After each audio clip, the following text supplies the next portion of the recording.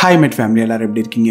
உங்களை நிறைய பேர் ப்ரோ ஒரு நல்ல மிஸ்ட்ரி த்ரில்லர் படம் போடுங்க அப்படின்னு கேட்டுக்கிட்டே இருந்தீங்க. ஸோ உங்களுக்காக தான் ஒரு சூப்பரான படத்தை நான் கொண்டு வந்திருக்கேன். ஒரு சின்ன ஆக்சிடென்ட்ல தலையில் அடிப்பட்ட நம்ம ஹீரோயினுக்கு அவளோட பாஸ்ட்ல நடந்த எல்லா விஷயமும் மறந்து போயிருது. பட் இதுல ஒரு நல்ல விஷயம் என்ன அப்படின்னா ஃபியூச்சர் நடக்க போற விஷயங்கள்லாம் இவளோட கண்ணுக்கு விஷுவலா தெரியற மாதிரி ஒரு சூப்பர் பவர் நம்ம ஹீரோயினுக்கு கிடைக்குது. ஒரு கட்டத்துல பாஸ்ட்ல நடந்த எல்லா விஷயங்களும் இவளுக்கு ஞாபகத்துக்கு வர இவ கொஞ்சம் கூட எதிர்பார்க்காத சில மர்மமான விஷயங்கள் அவளுக்கு தெரிய வருது. அப்படி இவளுக்கு பாஸ்ட்ல என்னதான் நடந்துச்சு அப்படிங்கறத கடைசியில பயங்கரமான ஒரு ட்விஸ்டோட சொல்ற படம் தான் ரீகால்டு இந்த வீடியோ பார்க்கறதுக்கு முன்னாடி நம்ம சேனல் சப்ஸ்கிரைப் பண்ணலாம் மறக்காம சப்ஸ்கிரைப் பண்ணி வச்சுக்கோங்க. இப்போ வாங்க நம்ம கதைக்குள்ள போயிடலாம். இந்த படத்தோட ஸ்டார்டிங்ல தலையிலலாம் கட்டு போட்ட நிலைமையில ஹாஸ்பிட்டல் ஒரு பொண்ணை காட்டுறாங்க. இவ தான் நம்ம படத்தோட ஹீரோயின் சுஜின். சுஜினுக்கு என்ன ஆச்சு அப்படின்னா நேத்து தவறுதலவா மாடியில இருந்து கீழே விழுந்திருப்பா. அப்படி விழுந்ததுல இவளோட தலையில பலமா அடிபட்டு பாஸ்ட்ல நடந்த எல்லா விஷயங்களும் இவளுக்கு மறந்து போயிருது.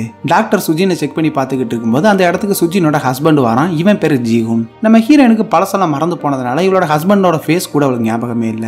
யார் இவன் அப்படின்னு இவ பார்த்துக்கிட்டு இருக்க? இதை நம்ம ஜீகனும் பார்த்துட்டு அவளுக்கு பாஸ்ட்ல நடந்த எல்லா விஷயத்தையும் சொல்லிக்கிட்டு ஹாஸ்பிட்டல்ல இருந்து டிஸ்சார்ஜ் பண்ணி வீட்டுக்கு கூட்டிட்டு வந்துடுறான். சுஜினுக்கு மெமரி லாஸ் ஆன விஷயம் இவங்க ரெண்டு பேரை தவிர வேற யாருக்குமே தெரியாது. சோ ஜீகுன் வந்து அவளை பார்த்து உனக்கு இந்த மாதிரி பிரச்சனை இருக்கிறத வெளியே காட்டிக்காத. இதை உன் ஃப்ரெண்ட்ஸ் யாராவது கேட்டா ரொம்பவே கஷ்டப்படுவாங்க. அது மட்டும் இல்லாம தேவையில்லாத கேள்விகளும் வரும். சோ யார் வந்து உன்கிட்ட பேசினாலுமே அவங்கள ஆல்ரெடி தெரிஞ்ச மாதிரியே காட்டிக்கோ. அது மட்டும் இல்ல இன்னும் ரெண்டு நாள்ல நமக்கு கனடா போறதுக்கான விசா கிடைச்சிரும். சோ அங்க போனோம் அப்படின்னா எந்த பிரச்சனையும் இல்லாம நம்ம சந்தோஷமா இருக்கலாம் அப்படின்னு சொல்ல இதை கேட்ட சுஜினுக்குமே ஹாப்பி அடுத்த நாள் ஜீகுன் அங்க இருக்கிற ஒரு கனடா எம்பசிக்கு போயிட்டு விசா வேணும் அப்படின்னு கேட்க அங்க இருக்கிற ஆபீசர்ஸும் நீங்க எதுக்கு கனடா போறீங்க? அதுக்கு என்ன ரீசன் தெரிஞ்சுக்கலாமா? அப்படின்னு கேட்க அவனுமே ரீசனா சொல்றான். பட் அவன் என்ன சொன்னான் அப்படிங்கறத நமக்கு காட்டல. அப்படி அங்கே சீனை கட் பண்ணி இங்கே நம்ம சுஜினை தான் காட்டுறாங்க. சரி கொஞ்சம் வெளியே போயிட்டு வரலாம் அப்படின்னு இவள் லிஃப்ட்டுக்குள்ள போகும்போது அந்த இடத்துக்கு ஒரு குட்டி பொண்ணு வாரா. அவளை பார்த்ததுமே சுஜினுக்கு மைண்டுக்குள்ள ஒரு விஷுவல் மாதிரி ஓடுது. அந்த விஷுவலில் இன்னும் கொஞ்ச நேரத்தில் இந்த குட்டி பொண்ணுக்கு ஆக்சிடென்ட் நடக்கிற மாதிரி தெரிய இதை பார்த்து சுஜின் ரொம்ப பயந்து போயிடுறா. என்ன இது? வித்தியாசமா நமக்கு என்னெல்லாமோ தெரியுது அப்படின்னு இவ அதை பெருசா கண்டுக்காம வெளியே போகும்போது அந்த இடத்துல இவளோட விஷுவல்ல வந்த மாதிரியே சில விஷயங்கள் நடக்குது. லிஃப்ட்ல பார்த்த அந்த குட்டி பொண்ணு யாரோ ஒரு பையனுக்கு ஹாய் சொல்லிக்கிட்டு ரோட கிராஸ் பண்ணும்போது பின்னாடியே சைக்கிள்ல வந்த ஒரு ஆள் இந்த பொண்ணு மேலேயே மோதி இவளை கீழே தள்ளி விட்டுறான் அந்நேரம் பார்த்து அந்த ரோட்ல ஒரு ட்ரக் வரத சுஜின் பார்த்துட்டு எப்படியாவது அந்த பொண்ணை காப்பாற்றணும் அப்படின்னு குடு குடு நடு ரோட்ல ஓடுறா. இதை பார்த்து நம்ம ஹீரோ வந்து ஐயோ இவளுக்கு எதுவும் ஆயிடக்கூடாது அப்படின்னு இவன் மேல அந்த ட்ரக் மோதாத மாதிரி சுஜினை காப்பாத்திடுறான். ஐயோ அந்த குட்டி பொண்ணுக்கு என்னாச்சு? அப்படின்னு இவ திரும்பி பார்த்தா அந்த பொண்ணு அங்க வந்த ஒரு பையன் கூட கேஷுவலா நடந்து போய்கிட்டு இருக்கா. இதை பார்த்துட்டு இவளுக்கு என்ன நடக்குதுன்னு புரியல. இவளுக்கு விஷுவலா வந்த விஷயத்தை பத்தி இவ ஜீகுன் கிட்ட சொல்றா. பட் அவன் அதை நம்பாம நீ கரெக்டா டைமுக்கு மாத்திரை எடுத்துக்கோ அப்படின்னு சொல்லி இவளுக்கு ஏதோ ஒரு மாத்திரையை கொடுத்து தூங்க வைக்கிறான். அதே சமயம் இந்த பக்கம் ஒரு பில்டிங்கோட ஓனரை காட்டுறாங்க. இவனோட பில்டிங்ல இருந்து ஏகப்பட்ட மெட்டீரியல்ஸ் காணாம போகுது அப்படின்னு போலீஸ் கிட்ட கம்ப்ளைண்ட் கொடுத்துருப்பான் போல போலீஸ் அங்க வந்து விசாரணை பண்ணிக்கிட்டு இருக்காங்க. இந்த பக்கம் நம்ம சுஜின் மறுபடியும் அந்த குட்டி பொண்ணை பாக்குற அவளை பார்த்ததுமே இப்போ இவளுக்கு இன்னொரு விஷுவல் மைண்டுக்குள்ள ஓடுது. அந்த பொண்ணு அவளோட வீட்டுக்குள்ள போனதும் அங்க வந்து ஒரு குட்டி பையன் நேரம் அந்த பொண்ணோட பிளாட்டுக்கே போயிட்டு கதவை தட்டுறான். அப்படி அவன் கதவை தட்டிக்கிட்டு இருக்கும்போது அந்த வீட்டுல உள்ள கேஸ் லீக் ஆகி அந்த இடமே வெடிச்சு செதற மாதிரி இவளுக்கு விஷுவல்ல தெரியுது. இது தெரிஞ்சது இவளால் எப்படி சும்மா இருக்க முடியும்? சரி அந்த இடத்துக்கே போயிட்டு இது உண்மையா இல்ல வெறும் பிரம்மையா அப்படிங்கறத டெஸ்ட் பண்ணிடலாம் அப்படின்னு இவ அந்த பொண்ணோட பிளாட் இருக்கிற ஃப்ளோர்ல போய் வெயிட் பண்ணிட்டு இருக்கா. விஷுவல்ல வந்த மாதிரி அந்த குட்டி பையனும் கதவை தட்டுறதுக்கு ஓடி போக இதை பார்த்து நம்ம சுஜின் வந்து பயந்து போய் டேய் தம்பி கதவை திறக்கார அப்படின்னு பின்னாடி கத்திக்கிட்டு போறா. அப்ப கொஞ்ச நேரத்துல அந்த இடமே வெடிச்சு சதற மாதிரி தெரிய அப்படி அந்த சீனும் கட் ஆகுது. கொஞ்ச நேரம் கழிச்சு ஹாஸ்பிட்டல்ல நம்ம சுஜின் இருக்க மாதிரி காட்டுறாங்க. டாக்டர் அவளை செக் பண்ணி பார்த்துட்டு கேஸ் வெடிக்கிற மாதிரி உனக்கு தெரிஞ்சதுல அது எல்லாமே உன்னோட ஹாலுசினேஷன் தான். உண்மையிலேயே அப்படி எந்த ஒரு விஷயமும் அங்க நடக்கல. அது மட்டும் இல்லாம நீ பார்த்ததா சொன்ன ஒரு குட்டி பொண்ணு அப்படி ஒரு பொண்ணே அந்த பிளாட்ல இல்லைன்னு சொல்லிடுறாங்க. அங்க என்ன நடக்குது அப்படின்னு இவளுக்கு மட்டும் இல்ல பாக்குற நமக்கே எதுவும் புரியல. அடுத்த நாள் சுஜின் வழக்கம் போல லிஃப்ட்ல போகும்போது ஏழாவது ஃப்ளோர்ல உள்ள ஒரு பொண்ணு இவா கூட லிஃப்ட்ல வரா. நம்ம சுஜின் அந்த பொண்ணை பார்த்ததுமே இப்பவும் ஒரு பயங்கரமான விஷுவல்ஸ் இவளுக்கு தெரிய வருது. யாரோ ஒரு ஆள் இந்த பொண்ணை போட்டு பயங்கரமா அடிச்சு கொடுமைப்படுத்துற மாதிரி தெரிய இதை பார்த்த சுஜின் வந்து ரொம்ப பயந்து போயிடுறா. ஆல்ரெடி ரெண்டு தடவை இப்படி வந்து அதே மாதிரி நிஜத்துல நடந்திருக்குது. ஸோ இதை எப்படியாவது தடுத்து ஆகணும் அப்படின்னு அந்த பொண்ணுகிட்டே போயிட்டு உன்னை யாரோ கொஞ்ச நேரத்தில் அடிச்சு டார்ச்சர் பண்ண போறாங்க. அவன் தாடையில கூட சின்னதா ஒரு தழும்பு இருக்கும். ப்ளீஸ் ஜாக்கிரதையா இருந்துக்கோ அப்படின்னு இவ வார்னிங் கொடுக்க அந்த பொண்ணு இதை பத்தி பெருசா கண்டுக்காம வீட்டுக்குள்ள போயிடுறா. இவ உள்ள போனதுமே வீட்டுக்குள்ள இருந்த அவளோட அப்பா வெளியே வராரு. அவரோட தாடையில அந்த தழும்பு இருக்கிறத பார்த்துட்டு இவளுக்கு எப்படி இருக்கும்? ஒரு நிமிஷம் ஆடியே போயிடுறா. அப்போ இவர் தான் அந்த பொண்ணை அடிச்சு டார்ச்சர் பண்ண போறாரு அப்படிங்கிறத தெரிஞ்சுக்கிட்டு இவன் நம்ம ஹீரோக்கு கால் பண்ணி இந்த விஷயத்தை பற்றி சொல்றா.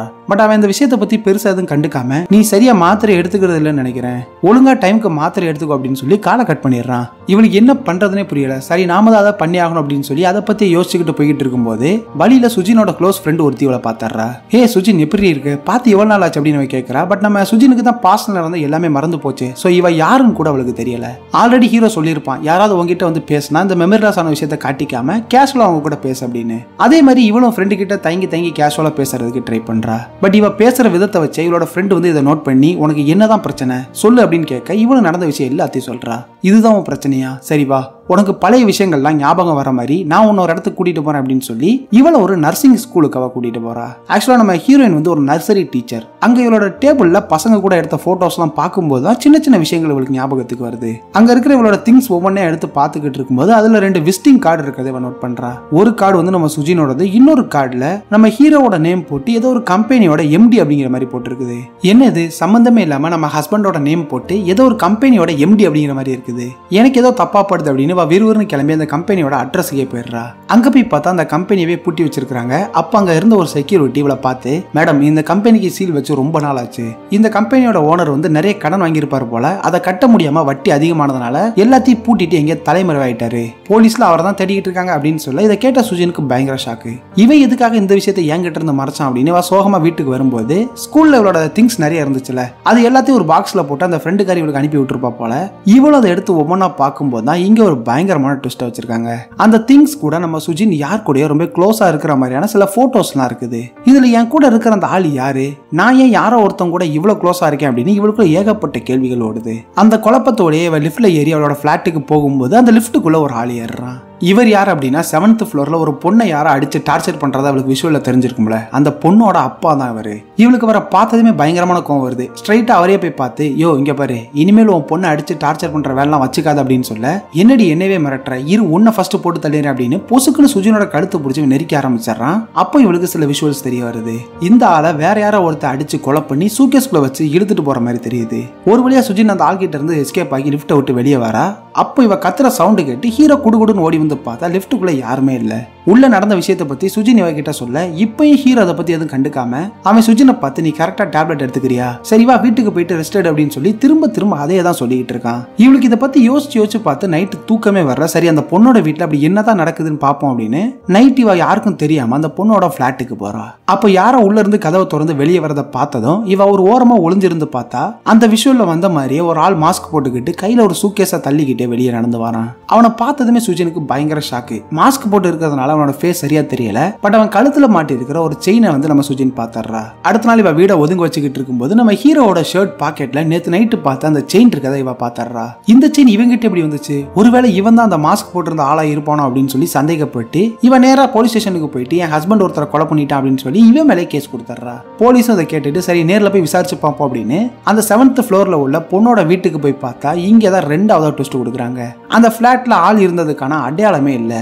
அந்த அப்பார்ட்மெண்ட்டில் வேலை பார்க்குற செக்யூரிட்டியை கூப்பிட்டு விசாரிச்சு பார்த்தா அந்த ஃபிளாட் ரொம்ப மாசமாவே சும்மா தான் கிடக்குது. இன்னும் யாருமே இங்க குடி வரல அப்படின்னு சொல்லிடுறான். என்னதாண்டா இங்க நடக்குது அப்படின்னு உங்களுக்குமே குழப்பமா தானே இருக்குது. இதே மாதிரி தான் சுஜினும் தலையை பிச்சுக்கிறா. இதை பத்தி யார்கிட்டயாவது விசாரிச்சு ஆகணும் அப்படின்னு இவன் லிஃப்ட்டில் ஏறும்போது இவ கூடவே ஒருத்தன் லிஃப்ட்டில் ஏறான் இவன் பேரு சாங் இவ சாங்கை பார்த்தா அடுத்த நிமிஷமே மறுபடியும் இவளுக்கு சில விஷுவல்ஸ் ஓடுது. அதுல அந்த சாங்கை யாரோ ஒருத்தன் போட்டு அடி அடின்னு பொழக்கிற மாதிரி தெரிஞ்சதும் அவனை ஃபாலோ பண்ணியே இவ பின்னாடி போறா. அங்கே போய் பார்த்தா அந்த விஷுவல்ல வந்த மாதிரி நம்ம சாங்கை போட்டு ஒருத்தன் அடி பின்னிக்கிட்டு இருக்கான். ஆக்சுவலாக அவன் யார் அப்படின்னா நம்ம சாங்குக்கு கடன் கொடுத்த ஒரு ஆள். கொடுத்த காசை திருப்பி தராதனால தான் இப்படி போட்டு அடிக்கிறான். அந்த ஆள் அங்கிருந்து போனதும் ஒரு ஓரமாக சுஜி நிற்கிறத இவன் பார்த்துட்டு உனக்காக தான் நான் வெயிட் பண்ணிக்கிட்டு இருந்தேன். நீ எங்கே போயிருந்த? வா வீட்டுக்கு போகலாம் அப்படின்னு சொல்லி அவனோட ஃப்ளாட்டுக்கு இவளை கூட்டிட்டு போகிறான் நான் பிஸ்னஸ் பிஸ்னஸ் அப்படின்னு சொல்லி நிறைய கடன் வாங்கிட்டேன். அதை சரி பண்ண ஒரே ஒரு வழிதான் இருக்குது. இன்னைக்கு நைட்டு இத்தனை மணிக்கு நீ நம்மளோட பில்டிங்க்கு வந்துரு அப்படின்னு சொல்லிட்டு போகிறான் எந்த பில்டிங்கை சொல்கிறான் அப்படின்னா ஸ்டார்டிங்கில் ஒரு ஆள் பில்டிங்கில் இருந்து மெட்டீரியல்லாம் காணும் அப்படின்னு சொல்லி கம்ப்ளைண்ட் கொடுத்துருப்பார்ல அதே பில்டிங் தான். அது மட்டும் இல்லாமல் அந்த பில்டிங்கில் இருந்து தான் நம்ம ஹீரோயின் கீழே விழுந்து அவளுக்கு தலையில அடிபட்டுருக்கோம். இவங்க இவன் வர சொல்லிட்டு கிளம்புனதுமே சுஜின் அந்த வீட்டில் இருக்கிற ஒரு ஃபோட்டோவை பார்த்ததுமே அவளுக்கு தூக்கி வாரி போட்டுருது இங்கே தான் படத்துல மூணாவதா ஒரு பயங்கரமான ட்விஸ்ட்டை கொடுக்குறாங்க. சுஜின் ஒரு ஃபோட்டோவை பார்த்து ஷாக் ஆனால அதுல அப்படி என்ன இருந்துச்சு அப்படின்னா நம்ம சுஜினும் இந்த சாங்கும் கல்யாணம் பண்ணிக்கிட்ட மாதிரி ஒரு வெட்டிங் போட்டோ இருக்குது. ஆக்சுவலா இவன் தான் நம்ம சுஜினோட ஒரிஜினல் ஹஸ்பண்ட் பட் இவனோட பேரை யூஸ் பண்ணி இப்போ நம்ம ஹீரோ வந்து இவா கூட இருக்கிறான். இந்த விஷயத்தெல்லாம் சுஜின் தெரிஞ்சுக்கிட்டு இவனை சும்மா விடக்கூடாது அப்படின்னு சாங் ஒரு பில்டிங்க்கு இவளை வர சொல்லியிருப்பான்ல. அந்த பில்டிங்க்கு கிளம்பி போறா. பட் போறதுக்கு முன்னாடியே போலீஸுக்கு கால் பண்ணி இந்த மாதிரி இந்த பில்டிங்ல ஒரு கொலை நடக்க போகுது. ஸோ சீக்கிரம் வாங்க அப்படின்னு இன்ஃபார்ம் பண்ணிட்டு தான் அங்கே போறா. அங்க போய் பார்த்தா ஆல்ரெடி ஹீரோ அங்க வந்து சாங்க அடிச்சே கொலை பண்ணி பக்கத்துல இருக்கிற ஒரு தொட்டிக்குள்ள தூக்கி போட்டுறான். இதை சுஜினும் பார்த்தர்றா அப்ப தெரியாம இவளோட கால் வந்து அங்க இருக்கிற ஒரு கிளாஸை மிதிச்சதுமே அந்த சவுண்டு கேட்டு அங்க சுஜின் வந்த விஷயத்த ஹீரோவும் பார்த்தர்றான் இவனை பார்த்ததுமே இவ பயந்து ஓட. பின்னாடி இவன் அவளை துரத்திட்டு போக. ஒரு இடத்துல வசமா அவளை லாக்கும் பண்ணிடுறான். tierra. எதுக்கு என் ஹஸ்பண்டை கொலை பண்ண? நீ யார் அப்படின்னு இவ கேட்டுக்கிட்டு இருக்கும்போது அந்த இடத்துக்கு போலீஸ் வந்து இவனை அரெஸ்ட் பண்ணிடுறாங்க. அங்க இருக்கிற தொட்டிக்குள்ள சேங்க தூக்கி போட்டது வந்து சுஜின் பார்த்திருப்பால இப்போ அந்த தொட்டியை பார்த்தா அங்க வெறும் பாறை மட்டும்தான் இருக்குது. இவளுக்கு எதுவுமே புரியல. அவன் வச்சிருந்த சூக்கேஸ் ஓபன் பண்ணி பார்த்தா அதுக்குள்ள வெறும் டூல்ஸ் மட்டும்தான் இருக்குது. சார் இங்க ஒரு தொட்டி இருந்தது. இவன் சேங்க கொலை பண்ணி அதுக்குள்ள தூக்கி போட்டதை நான் என் கண்ணால பார்த்தேன். ஆனா இந்த தொட்டி இப்போ ஃபுல்லா மூடி போய் ஒரு பாறை மாதிரி இருக்குது அப்படின்னு சொல்றா. அங்க கொலை பண்ணதுக்கான எந்த தடயமும் இல்லாதனால அங்க இருக்கிற யாருமே இவ சொல்றதை நம்பவே இல்லை. அப்ப அங்க வந்து ஒரு போலீஸ் ஆபீசர் சந்தேகப்பட்டு ஒரு கடப்பாரை எடுத்து அந்த தொட்டியை உடச்சு பார்த்தா உள்ள ஒரு ஆளோட டெட் பாடி இருக்குது. சாங்கோட வீட்டில் இவங்க ரெண்டு பேர் வெட்டிங்ல எடுத்துக்கிட்ட போட்டோ இருக்கும்ல அதுல சாங்கு கையில வந்து ஒரு வாட்ச் போட்டிருப்பான். சேம் அதே வாட்ச் தான் அந்த டெட் பாடி கையில இருக்குது. ஸோ நம்ம ஹீரோ தான் அந்த கொலை பண்ணியிருக்கான் அப்படின்னு கன்ஃபார்ம் பண்ணி இவனை ஸ்டேஷனுக்கு கூட்டிட்டு வந்து விசாரணை பண்ணிட்டு இருக்காங்க. எதுக்காக அவனை கொலை பண்ண அப்படின்னு கேட்க ஹீரோவும் அதுக்கான காரணத்தை சொல்றான். நாங்க ரெண்டு பேரும் பார்ட்னர்ஷிப் போட்டு ஒரு பிசினஸ் ஆரம்பிச்சோம். ஆனா அவன் கம்பெனி பேர்ல வெளியே நிறைய கடனை வாங்கி அதை வீணா செலவு பண்ணதுனால எங்க கம்பெனியை மூட வேண்டிய நிலைமை வந்துருச்சு. என்னோட பணமும் இவனால லாஸ் ஆனதுனால இவன் ஒய்ஃப் பேர்ல இருக்கிற இன்சூரன்ஸ் அமௌண்ட் எனக்கு வரணும் அப்படின்னு நான் அவனை கொலை பண்ணி அவனோட பேர்ல வாழ்ந்துகிட்டு வரேன் அப்படின்னு சொல்றான். இவன் சொல்ற அந்த கதையை போலீஸ் நம்பினாலும் சுஜினுக்கு ஏதோ இது சரியா படல. நேரா இவங்கிட்டே போயிட்டு எதுக்காக இதெல்லாம் பண்ற? உண்மையை சொல்லு நீ யார்? அப்படின்னு கேட்க இங்கதான் அந்த படத்துல இருக்கிற ஒரு முக்கியமான ட்விஸ்டை ரிவீல் பண்றாங்க. ஆக்சுவலாக நம்ம ஹீரோ வந்து உண்மையாகவே யார் அப்படின்னா சுஜினோட அண்ணன். அதாவது இவளோட அப்பா அம்மா சுஜினை தத்தெடுத்து வளர்த்துருப்பாங்க. இந்த விஷயத்த கேட்டதுமே இவளுக்கு மட்டும் இல்லை பார்க்குற நமக்கே பகீர்னு ஆயிருது. சரி நீ என்னோட அண்ணனே வச்சுக்கோ. எதுக்காக நீ என்னோட ஹஸ்பண்டை கொலை பண்ண? ஆல்ரெடி ரொம்ப நாளைக்கு முன்னாடியே நீ அவனை கொலை பண்ணி அந்த தொட்டிக்குள்ளே புதைச்சு வச்சிருக்க.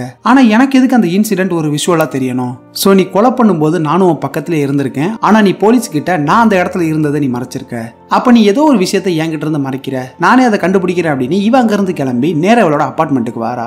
இவ ஸ்டார்டிங்ல ஒரு குட்டி பொண்ணை பார்த்திருப்பாள. இப்ப அந்த பொண்ணை மறுபடியும் பாக்குறா அப்ப பின்னாடி அந்த பொண்ணோட அண்ணன் ஓடி வந்து நம்ம ஹீரோயினோட பேரை சொல்லி சுஜின் அப்படின்னு கூப்பிடுறான். இதை பார்த்து இவளுக்கு ஒண்ணுமே புரியல. என்ன இவன்? என் பேரை சொல்லி கூப்பிடறானே அப்படின்னு விசாரிக்கும் போதுதான் இந்த குட்டி பொண்ணோட பேர் சுஜின் அந்த பையனோட பேர் ஜிகுன் அதாவது நம்ம ஹீரோவோட பேரு. இவளுக்கு எதுவுமே புரியாம நேரா அந்த ஏழாவது ஃப்ளோர்ல உள்ள பொண்ணை போய் மீட் பண்றா. அவ போட்டிருக்கிற யூனிஃபார்ம்ல நம்ம சுஜினோட பேர் தான் இருக்குது. இப்போ உங்களுக்கு கொஞ்சம் புரிஞ்சிருக்கும் அப்படின்னு நினைக்கிறேன். ஆக்சுவலா அந்த குட்டி பொண்ணு அந்த ஏழாவது ஃப்ளோர்ல உள்ள பொண்ணு வேற வேற இல்ல. எல்லாமே நம்ம ஹீரோ ஹீரோயின் தான். இவளுக்கு தலையில் அடிப்பட்டதுல இருந்து ஃபியூச்சர் நடக்க போற விஷயம் வந்து விசுவலா தெரியும்ல. ஆக்சுவலா அது வந்து இவளோட பாஸ்ட்ல நடந்த விஷயங்கள் தான் இப்போ நமக்கு கிளியரா என்ன நடந்தது அப்படிங்கறத காட்டுறாங்க.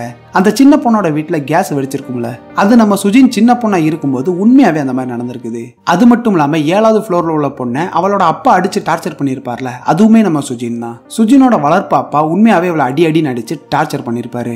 இந்த விஷயத்த பார்த்த நம்ம ஹீரோ அதாவது இவளோட அண்ணன் அவர் நம்ம சொந்த அப்பா அப்படின்னு கூட பார்க்காம அவரை பிடிச்சி அடிச்சே கொண்டு அவனோட தங்கச்சியை காப்பாத்திருக்கிறான். ஹீரோ யாரையும் அடிச்சு அவரை சூக்கேஸ்ல கொண்டு போற மாதிரி இவளுக்கு ஒரு விஷுவல் தெரிஞ்சிருக்கும்ல அது வேற யாரும் இல்ல இவனோட சொந்த அப்பா தான் இப்படி தன்னோட தங்கச்சியை பத்திரமா பாத்துக்கணும் அப்படின்னு தான் இவன் நிறைய விஷயங்களை பண்ணியிருக்கிறான். இது எல்லாத்தையும் ஒன்னு ஒன்னா யோசிச்சு பார்க்கும்போது தான் சுஜினுக்கு பாஸ்ட்ல நடந்த விஷயங்கள் ஒன்று ஒன்னா ஞாபகத்துக்கு வருது. அங்க இருந்து இவன் நேரா இவளோட ஹஸ்பண்ட் சாங் இருந்த பிளாட்டுக்கு போய் பார்த்தா எல்லாருக்கும் ஷாக் கொடுக்குற மாதிரி செத்து போனதா சொன்ன சாங் அங்க உயிரோட வந்து நிக்கிறான். ஏன்டா ஒரு படத்துல எத்தனை ட்விஸ்டடா கொடுப்பீங்க சுஜினை பார்த்ததுமே ஆசாசியா கட்டி பிடிப்பான் அப்படின்னு பார்த்தா ஒரு கத்தியை எடுத்து இவளை கொள்றதுக்காக துரத்திக்கிட்டு இருக்க. இவங்கிட்ட இருந்து தப்பிச்சு ஒரு ரூம்குள்ள போயிட்டு உடனே அவன் போலீஸுக்கு கால் பண்றா. சார் என்னோட ஹஸ்பண்ட் வந்து சாகலாம் இல்ல இப்போ உயிரோட தான் இருக்கிறான். ப்ளீஸ் என்னை காப்பாத்துங்க அவன் கொள்றதுக்கு துரத்திட்டு வரான் அப்படின்னு சொல்ல. இவங்க பேசுறத நம்ம ஹீரோ விட்டு கேட்டுறான் இதே சமயம் நம்ம போலீஸுக்கு இன்னொரு ஷாக்கிங்கான விஷயம் தெரிய வருது. இவங்க தொட்டில இருந்து சுஜினோட ஹஸ்பண்ட் அப்படின்னு சொல்லி ஒரு டெட் பாடி எடுத்தாங்கல்ல அது அவனே கிடையாது வேற ஒருத்தன் அப்படின்னு டிஎன்ஏ ரிப்போர்ட் வந்ததும் இதை கேட்ட போலீஸ் அந்த டெட் பாடியை பார்க்க கிளம்பி போயிடுறாங்க.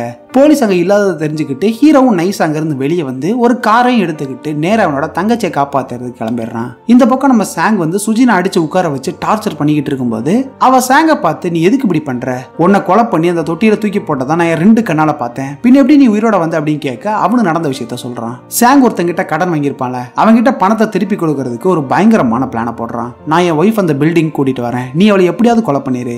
அவ செத்ததுமே அவ பேர்ல வர இன்சூரன்ஸ் பணத்தை எடுத்து நான் உன் கடனை அடைச்சிடுறேன் அப்படின்னு ஒரு வில்லத்தனமான பிளானை போட்டு அந்த கடன் கொடுத்தவனே அங்க இருக்கிற பில்டிங்க்கு வர சொல்லியிருப்பான். பட் அந்த ஆளுக்கு சாங் மேல நம்பிக்கையே இல்லை ஸோ இவனோட வாட்சை பிடிங்கி அவன் கையில மாட்டிக்கிட்டு வேணும்னே அவனை போட்டு அடி அடி நினைக்கிறான். ஒரு கட்டத்துக்கு மேலே சாயங்காலத்தை அதை பொறுத்துக்க முடியல. என்னையவா அடிக்கிற அப்படின்னு சொல்லி அந்த கடன் கொடுத்தவனே அடிச்சு சாவடிச்சு அந்த தொட்டிக்குள்ள தூக்கி போட்டிருக்கான் ஸோ இப்படி தான் சாங் அப்படின்னு நினைச்சு அந்த போலீஸும் டெட் பாடியை வெளியே எடுத்திருக்காங்க.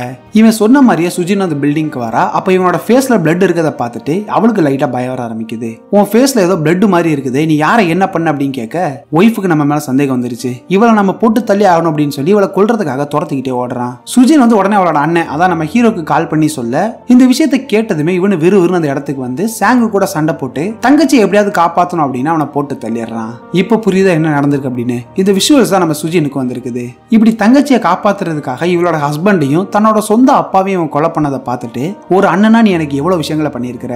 என்னால தானே உனக்கு இவ்வளவு கஷ்டம்? நான் செத்தாவது நீ நிம்மதியாரு அப்படின்னு சொல்லி இவன் அந்த பில்டிங்ல இருந்து கீழே குதிச்சு சூசைட் பண்ணிக்க ட்ரை பண்றா. இப்படி இவ விழும்போது தான் இவளோட தலையில அடிபட்டு பாஸ்ட்ல நடந்த எல்லா விஷயமும் அவளுக்கு மறந்து போயிருக்கும். இப்போ உங்க எல்லாருக்குமே என்ன நடந்துச்சு அப்படிங்கிறது கொஞ்சம் கிளியரா இருக்கும். சுஜின் கீழே விழுந்ததை பார்த்துட்டு ஹீரோவால் அதை தாங்கிக்கவே முடியல. உடனே அவளை தோல்ல தூக்கிக்கிட்டு இவன் ஹாஸ்பிட்டலுக்கு அவசரசமா அவசரமா ஓடிக்கிட்டு இருக்கான். இப்போ அப்படியே பில்டிங் மேல காட்டுறாங்க. சுஜினோட ஹஸ்பண்டை கொலை பண்ணி தொட்டிக்குள்ள போட்டிருப்பான்ல. ஆக்சுவலா அவன் சாகலா இல்ல உயிரோட தான் இருக்கான். இப்படி நடந்த எல்லா விஷயத்தையும் இவகிட்ட சொல்லிட்டு நீ செத்தாதான் உன்னோட இன்சூரன்ஸ் பணம் எனக்கு கிடைக்கும். சோ சீக்கிரமா செத்துப்போ அப்படின்னு சொல்லி அந்த வீடு ஃபுல்லாவே பெட்ரோலை ஊத்தி கொளுத்தி விட்டுட்டு போயிடுறான். கரெக்டா அந்த இடத்துக்கு நம்ம ஹீரோவும் அந்த போலீஸ்காரங்களும் வர தப்பிச்சு ஓட பார்த்த சாங்க போலீஸ் மடக்கி பிடிச்சிடுறாங்க. வீடு ஃபுல்லாவே கொழுந்து விட்டு எரியுது. பாவம் உள்ள நம்ம சுஜின் வேற மாட்டிருக்கிறா இதை பார்த்த நம்ம ஹீரோ என் உயிருக்கு என்னன்னு பரவாயில்ல. என் தங்கச்சி எதுவும் ஆகக்கூடாது அப்படின்னு தீ எரியறது கூட பார்க்காம உள்ள போறான். இவன் சுஜினை பார்த்து நடந்த எதுவுமே உன் தப்பு கிடையாது. நீ எதுக்கும் கவலைப்படாத. உன் அண்ணன் நான் எப்போ உன் கூட இருப்பேன்? அப்படின்னு சொல்லிக்கிட்டு இருக்கும்போது தீ அதிகமாகி இவங்களை நோக்கி வர இவளை எப்படியாவது காப்பாற்றணும் அப்படின்னு இவன் குறுக்க போய் சுஜினை கவர் பண்றான். அப்படியே அந்த சீன் கட் ஆகுது. இப்போ அப்படியே ஹாஸ்பிட்டல்ல காட்டுறாங்க. சுஜினுக்கு எதுவுமே ஆகல. அவ சேஃபா தான் இருக்கா? பட் இவளை காப்பாத்த போனா நம்ம ஹீரோ தான் இறந்து போயிடுறான். இந்த விஷயத்த போலீஸ் நம்ம சுஜின் கிட்ட சொல்லிட்டு உனக்கு கனடா எம்பசில இருந்து ஒரு வீடியோ டேப் வந்திருக்கதா? சொல்லி இதை அவகிட்ட கொடுத்துட்டு போறாங்க. இவளை ஹாஸ்பிட்டல் இருந்து டிஸ்சார்ஜ் ஆகி வீட்டுக்கு போயிட்டு அந்த வீடியோ டேப்பை ப்ளே பண்ணி பார்த்தா அதில் நம்ம ஹீரோ வந்து ஸ்டார்டிங்கில் கனடா எம்பசி கிட்ட போயிட்டு எதுக்காக வீசா வேணும் அப்படிங்கிற ரீசனை சொல்லியிருப்பான்ல அந்த வீடியோ தான் இருக்குது. இவன் அதில் என்ன சொல்றான் அப்படின்னா சின்ன வயசுலேருந்து என் தங்கச்சி தான் கனடா போகணும் கனடா போகணும் அப்படின்னு சொல்லிக்கிட்டே இருப்பா. அதனால தான் நான் அவளை கனடாக்கு கூட்டிகிட்டு போயிட்டு அங்கே ஒரு நல்ல லைஃப் அவளுக்கு அமைச்சு தருவேன் அப்படின்னு இவன் சொல்றதை கேட்டு சுஜினால் அதை தாங்கிக்கவே முடியல. பாவம் கதறி கதறி அழுதுகிட்டு இருக்கா. சும்மா பேச்சுக்காக அண்ணன் தங்கச்சி பாசம் அப்படின்னு சொல்லி வாழ்றவங்க மத்தியில் தன்னோட மொத்த வாழ்க்கையுமே தங்கச்சிக்காக வாழ்ந்துட்டு நம்ம ஹீரோ இறந்து போயிருக்கான். இப்படி அண்ணன் வந்து உயிரோட இல்லை அப்படின்னாலும் அவனோட நினைவுகள் எப்பவுமே சுஜின் கூடவே தான் இருக்கும் அப்படிங்கறத காட்டி இந்த படமும் முடியுது. நீங்க சொல்லுங்க அந்த படம் எப்படி இருந்துச்சு? நீங்க உங்க கூட பிறந்தவங்க மேல எந்த அளவுக்கு பாசம் வச்சிருக்கீங்க அப்படிங்கறத கமெண்ட்ல சொல்லுங்க. அடுத்த இதே மாதிரி சூப்பரான படத்தை சந்திக்கிறேன். அது வரைக்கும் டாட்டா பபாய்.